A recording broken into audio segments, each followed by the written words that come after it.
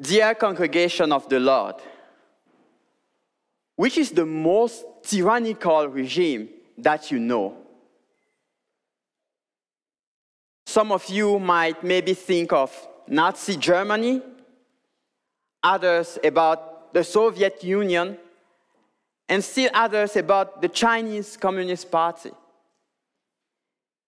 Yes, all those regimes have killed or caused the death of tens of millions of people.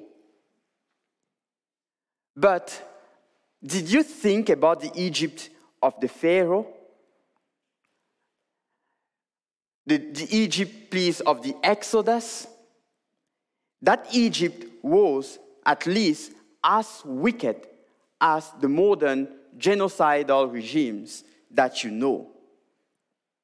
The pharaohs of that time embarked on a project of extermination of the church. If that plan had succeeded, they would have sealed the eternal doom of the entire human race from that time forward. Because the messianic line would have been cut off, we would have not had Jesus Christ to come and save us. Fortunately, our Heavenly Father came to his people's rescue. And he used the genocidal plans of Pharaoh to bless the church. So, my assignment this morning is to proclaim to you the gospel of the triune God from this spirit inspired historical account of how God blesses people through persecution in Egypt. The theme summarizing this gospel proclamation is this Yahweh uses persecution to bless the church in Egypt. Under this theme, we see three points. First, we have the origins of the persecution, then, the intensity of the persecution, and finally, God's blessing through the persecution. Yahweh uses persecution to bless the church in Egypt. The origin of the persecution, the intensity of the persecution, and God's blessing through the persecution. Our text starts with a now, which marks a new section in the history of God's people a new era was starting. Changes were going to happen. Here, the change was for the worse, unfortunately. We read that the new king did not know Joseph. What does it mean that he did not know Joseph? It does not mean that the new king did not have an intellectual knowledge of Joseph the Great. Why was Joseph so great? Because he was the savior of Egypt, who gave much power and prestige to the, to the office of Pharaoh when he saved Egypt from famine. No, this new king, this new Pharaoh, did not want to acknowledge the blessings that God had brought to Egypt through Joseph. Whereas the previous administration had treated the Israelite hospitably because of Joseph, the new king had a wicked eye toward Joseph and his people. The new Pharaoh was ungrateful. He was not only ungrateful, but he was also anxious. Why was he anxious? Because the Israelites' population growth was miraculous. In the book of Genesis, some other neighbors of the patriarchs even tried to join themselves to the patriarchs in order to share their blessings by becoming one people, by mixing with them. But this Pharaoh wanted none of that mixing. He had another cunning and wicked plan. He wanted to control the Israelite population, to exploit them at low cost. And you should know that certainly people of God back then, just like today, were dynamic and productive. And most probably, they had become an important part of the Egyptian economy.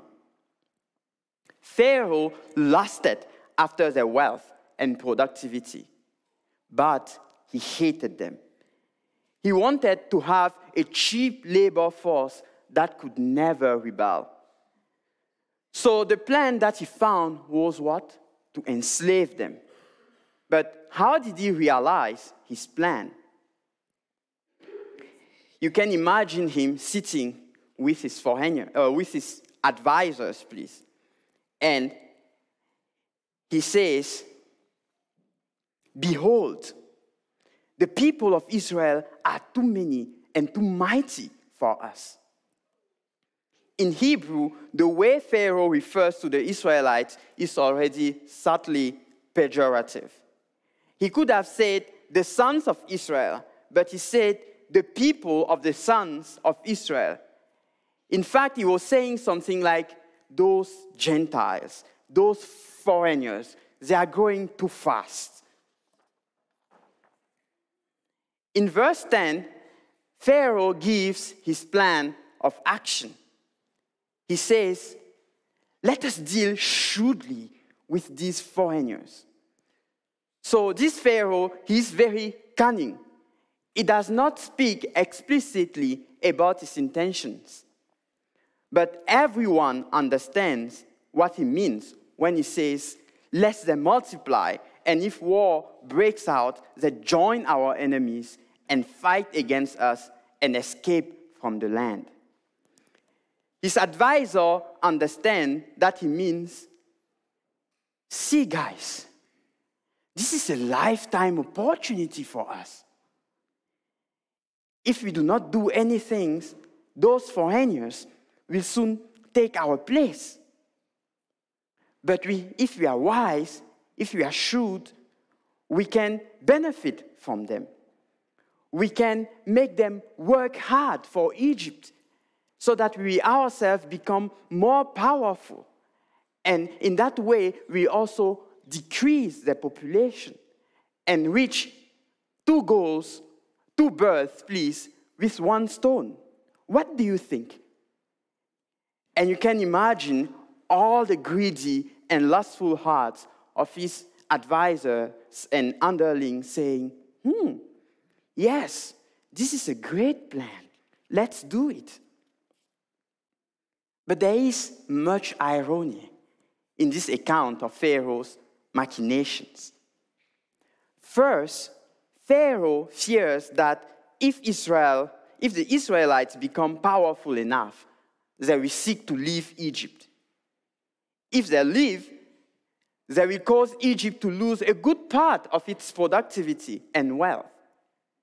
But he does not realize that making life hard for them is what we crystallize the desire to leave the land.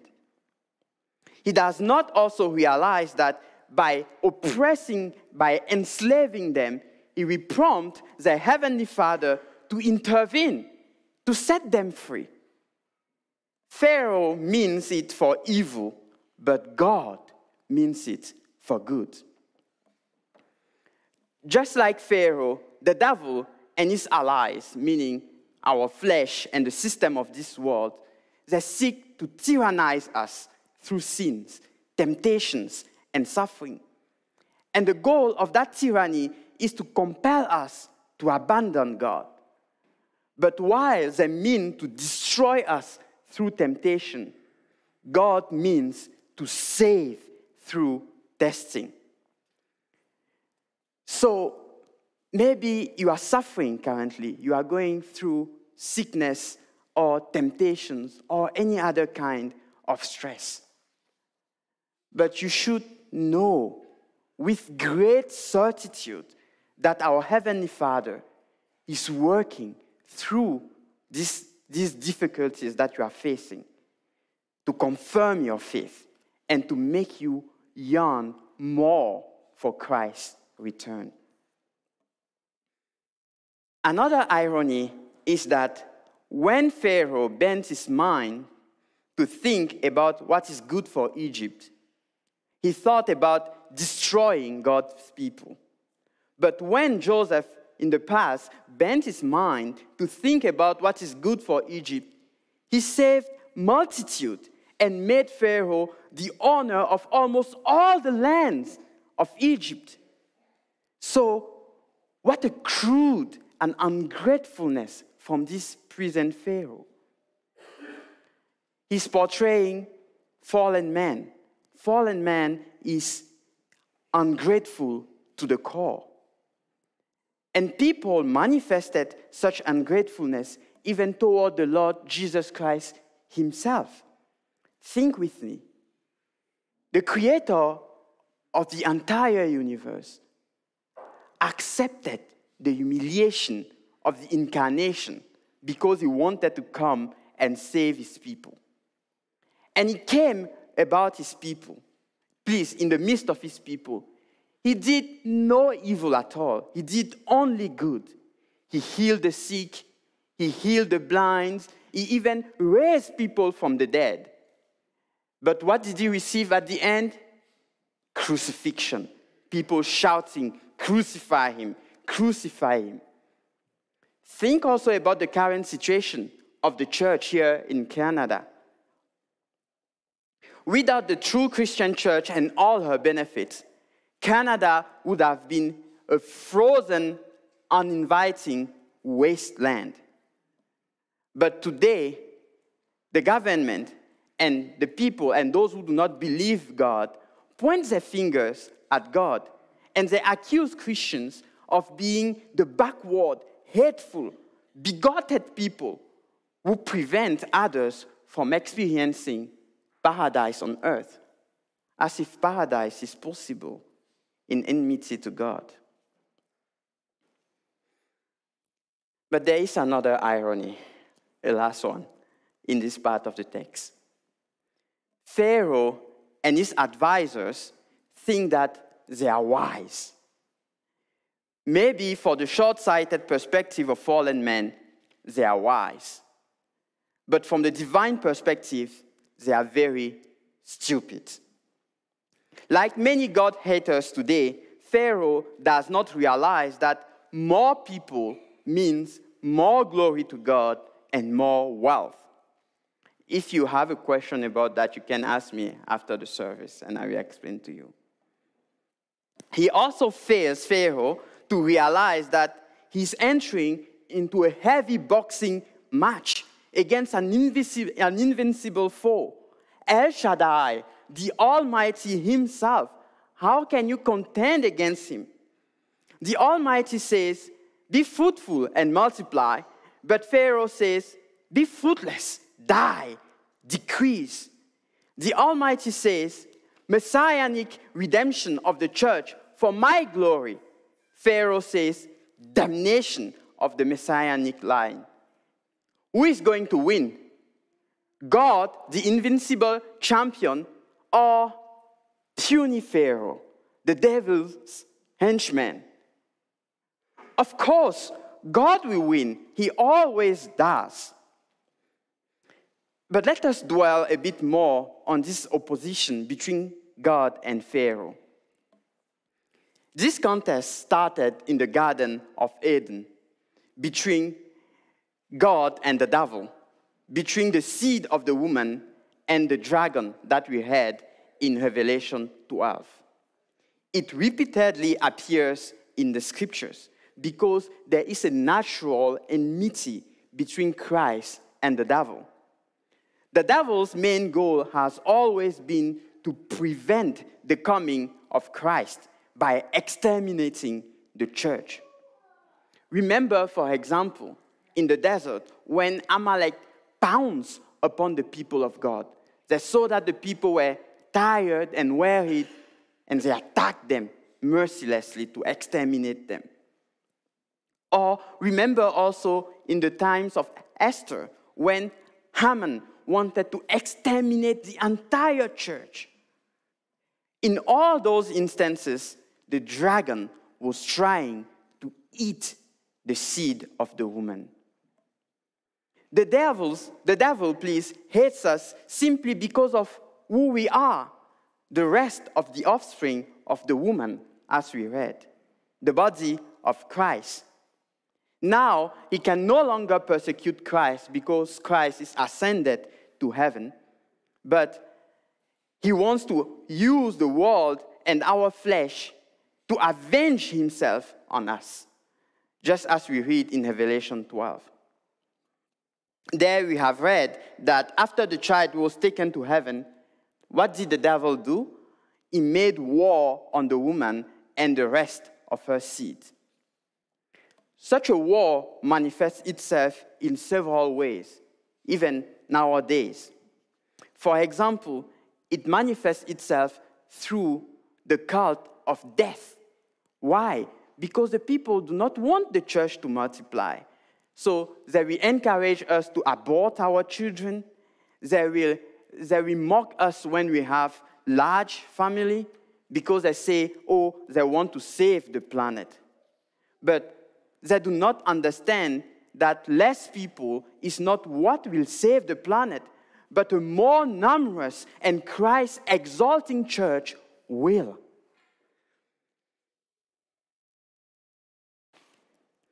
So, with this, we reach the end of our first point. What did we see? We saw that the church's enslavement came from the ungratefulness, xenophobia, and greediness of Pharaoh. Xenophobia, the hatred for foreigners. Pharaoh didn't like foreigners. Then we saw that behind Pharaoh was the devil. Finally, we saw that the Pharaoh's hatred toward God's people was a manifestation of the devil's hatred toward Christ and the church. Now, let us focus on the intensity of Pharaoh's hatred. How intense was it? That will be the object of our second point. The intensity of the persecution. How intense was the persecution? Let us see.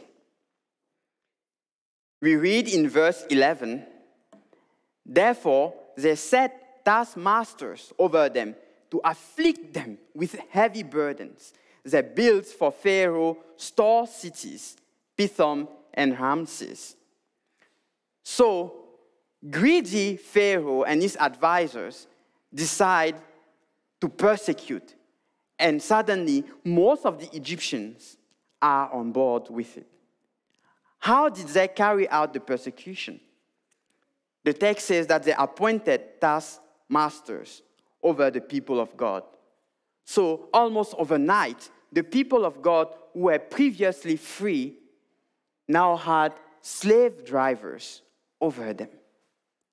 The goal was to humiliate and make the lives of people bitter, with continuous back-breaking jobs. Imagine the situation with me for a while. Maybe many who were physically weak among God's people died, and some who were strong had their health ruined.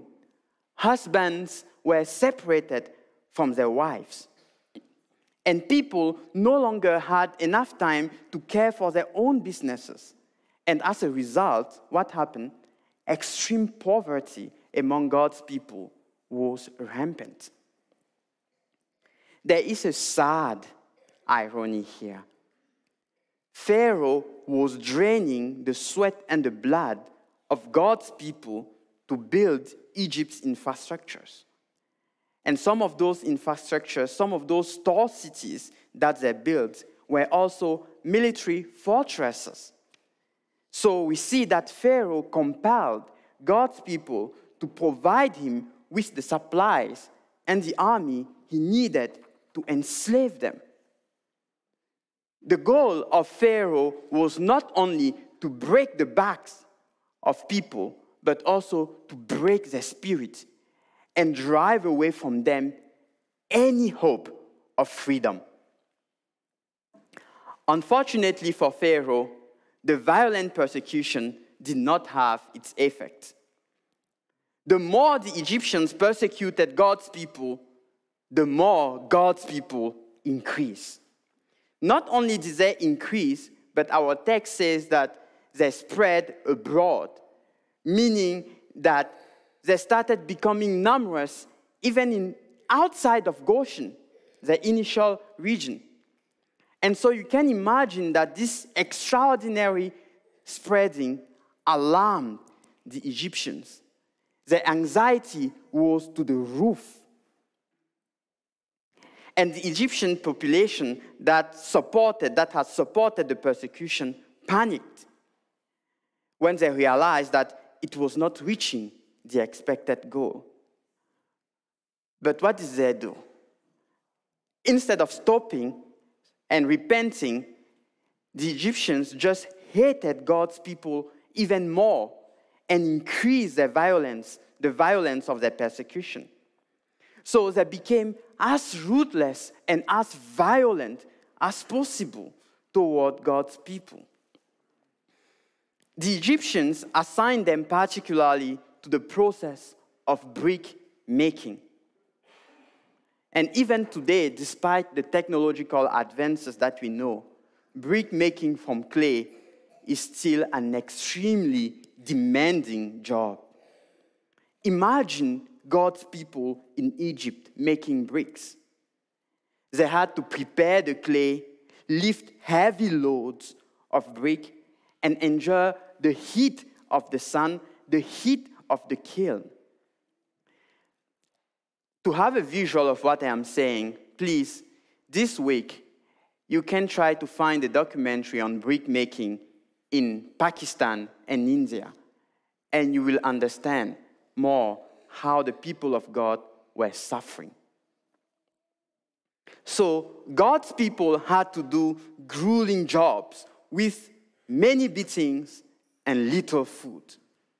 So, the church situation was dire. God's people needed him to do something. And you should know, God detests those who treat his image bearers in this way. Even when those people are pharaohs, despite all their powers and uh, authority. Christ has bought us body and soul, both in life and in death, with his precious blood. We belong to Christ alone. We are not Pharaoh's slave. What Pharaoh was doing was an accursed, blatant usurpation of authority. In acting that way, Pharaoh and the Egyptians were imitating their father, the devil. Satan is the father of all those who usurp or subvert the authority of Christ over the church all governments or authority structures which want the church to worship in a manner contrary to God's word, or which want to take the authority of the church in their own hands, set themselves on the path of Pharaoh, the path of the Antichrist, the path of the devil. As church, we must resist such usurpation because we belong to Christ alone. We cannot have two masters. Either we serve Christ or we serve the devil. All opposition to the lordship of Christ alone is therefore what? Diabolical. Such opposition can only result in another slavery, a mortal one, slavery to the devil. So be certain.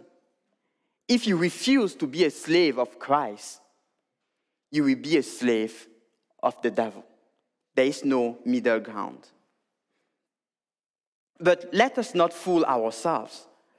The devil's slavery does not always manifest itself violently with gruesome exploitation and backbreaking labor. The devil can also bind us in golden chains, such as entertainment, prosperity, great ease of life, and all the cravings and addictions that come with it. In brief, anything that turns us away from the true worship of God can be an instrument of the devil to enslave us. So, how intense was the persecution? How intense was the hatred of Pharaoh? It was extremely cruel. Pharaoh wanted to break the spirit of God's people. But the persecution did not achieve its goal. Why did it not achieve its goal? The answer is the object of our third point God's blessing in the persecution. Why did Pharaoh's persecution fail? It failed because of God's blessing. Let us read together verse 12. Verse 12. You can follow with me.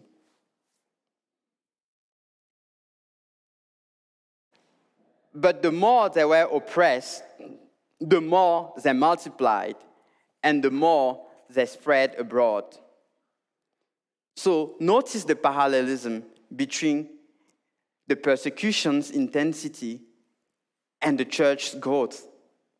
God was growing the Israelite population to the extent of the persecution. More persecution meant more people. Notice also the echoes of the fruitful and multiply from Genesis in the word multiply and spread abroad of our 12th verse. But to understand more, let us read also Genesis 28, verse 14, please. I should have warned you before. Genesis 28, verse 14.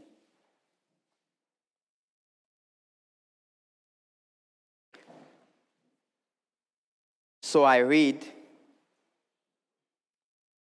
Your offspring shall be like the dust of the earth, and you shall spread abroad to the west and to the east and to the north and to the south. And in you and your offspring shall all the families of the earth be blessed. Here, this is God speaking to Jacob, repeating to him the patriarchal promises, the, promise, the promises that he made to Abraham and also to Isaac. Notice, notice, please, spread to the east and to the north, to the south, to the west. It means your offspring will spread everywhere. We engulf the entire earth.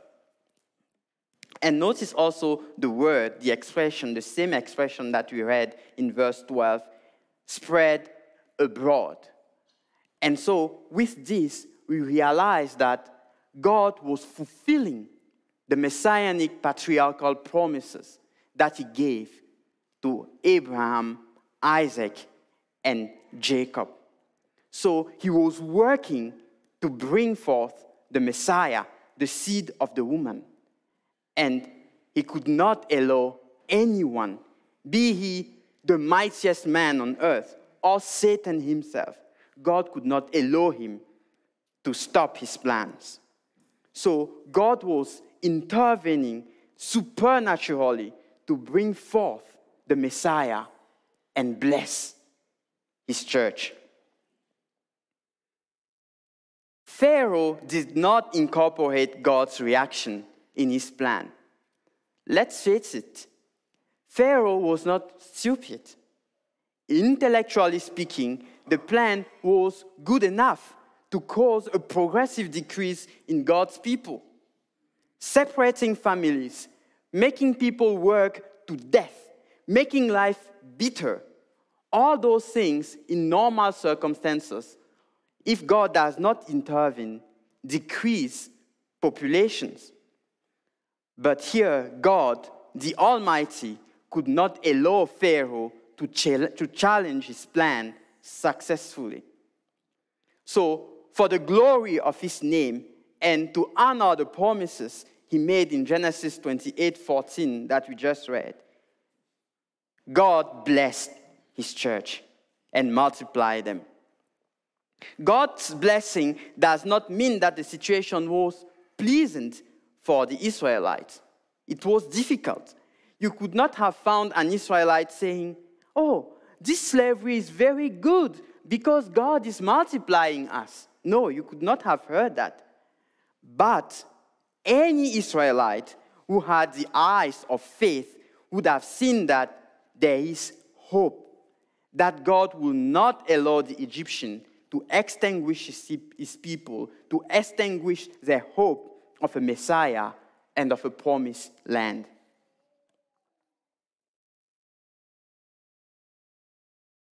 What do we see in redemptive history?